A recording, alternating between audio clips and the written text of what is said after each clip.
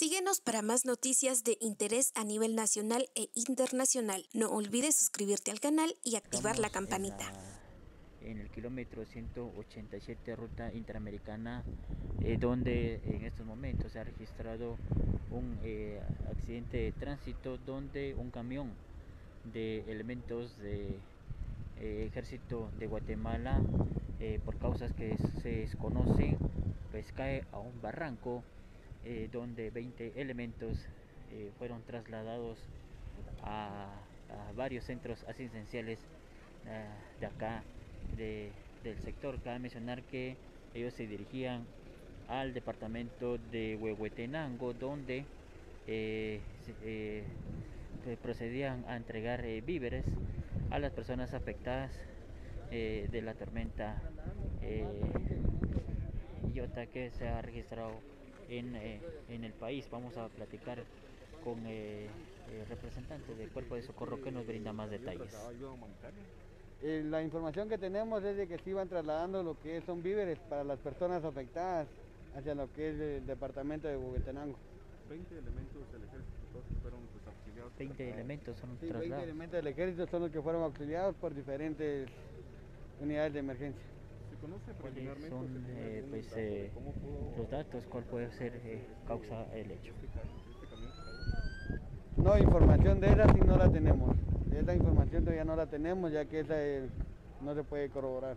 El sector en específico, pues para ubicar a todos los seguidores y las personas que nos observan, ¿dónde se encuentra este, este accidente? Este es el kilómetro 187, conocido como el paso del nivel de Chacanchabosh.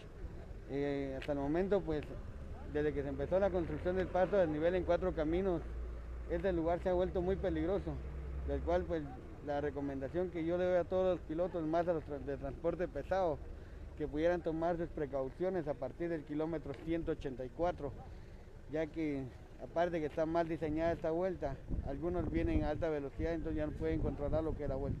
En momento ninguna persona falleció en el lugar. No tenemos ninguna persona fallecida. ¿Cuánto personal trabajó acá?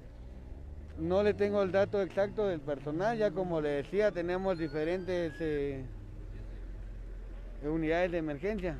Dos unidades de la 121, dos de la quinta, uno de la 42, dos de municipales, uno de Nahualá y uno de Canté, entonces no le tengo dato importante de cuántos elementos vinieron a apoyar.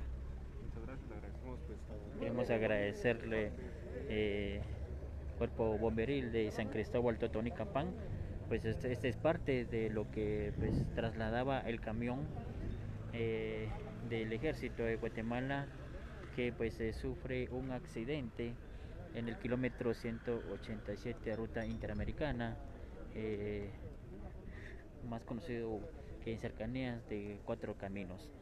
Pues ya se encuentra ya la grúa para pues eh, retirar el camión como ustedes pueden observar por acá en, este eh,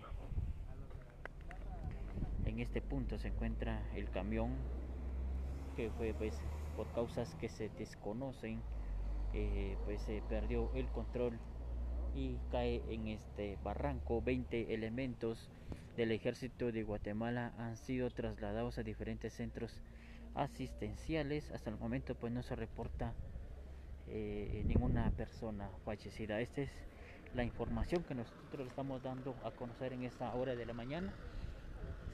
Síguenos para más noticias de interés a nivel nacional e internacional. No olvides suscribirte al canal y activar la campanita.